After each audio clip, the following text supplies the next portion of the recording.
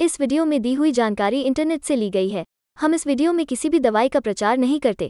किसी भी दवाई को इस्तेमाल करने से पहले एक बार डॉक्टर से ज़रूर सलाह लें। अगर आप इस वीडियो को देखकर किसी दवा का उपयोग करते हैं और आपको कोई साइड इफ़ेक्ट होता है तो उसमें हमारी कोई ज़िम्मेदारी नहीं होगी। फोमिन प्लस 500 टैबलेट एसार वयस्कों में टाइप 2 डायबिटीज़ मेलिटस का इलाज करने के लिए इस्तेमाल की जाने वाली दो दवाओं का मिश्रण है। यह डायबिटीज़ के लोगों में ब्लड शुगर के स्तर को नियंत्रित करने में मदद करता है। यह ब्लड शुगर के स्तर बनाए रखने में मदद करता है और डायबिटीज़ की गंभीर जटिलताओं के बढ़ने की संभावना को कम करता है।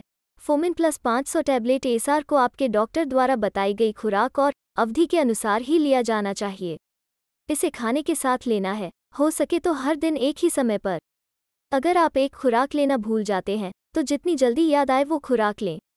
हालाँकि, अगर अगली खुराक का समय हो गया है तो छूटी हुई खुराक को छोड़ दें और नियमित समय पर अगली खुराक लें। खुराक को डबल न करें। इसके कारण स्वाद में बदलाव मिचली आना डायरिया यानी कि दस्त, पेट में दर्द और भूख में कमी जैसे साइड इफ़ेक्ट हो सकते हैं। हालाँकि, ये अस्थायी हैं और आमतौर पर अपने आप समाप्त हो जाते हैं। अगर ये ठीक नहीं होते हैं या लंबी अवधि तक बने रहते हैं तो कृपया अपने डॉक्टर से परामर्श लें।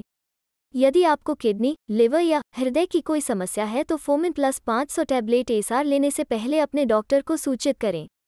गर्भवती या स्तनपान कराने वाली महिलाओं को इसे लेने से पहले डॉक्टर से भी परामर्श करना चाहिए।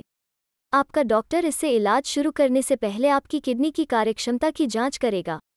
इसे लेने के दौरान शराब का बहुत अधिक सेवन न करें क्योंकि इससे कुछ साइड इफ़ेक्ट विकसित होने का जोखिम पैदा हो जाता है। वीडियो को पूरा देखने के लिए धन्यवाद। अगर आपको वीडियो अच्छी लगी हो तो वीडियो को लाइक करें और साथ ही हमारे चैनल को सब्सक्राइब करके नोटिफिकेशन बेल आइकॉन पर क्लिक करें। और ऑल नोटिफिकेशन को क्लिक करें। धन्यवाद।